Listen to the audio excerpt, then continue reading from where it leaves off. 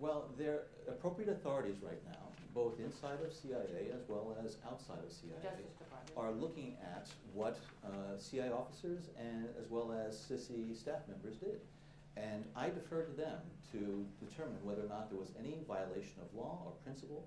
Um, and uh, I referred uh, the matter of myself to the, the CIA uh, Inspector General to make sure that uh, he was able to look honestly and objectively at what CIA did there. And know, when the facts come out on this, I think a lot of people who are claiming that there has been this tremendous sort of spying and monitoring and hacking will be proved.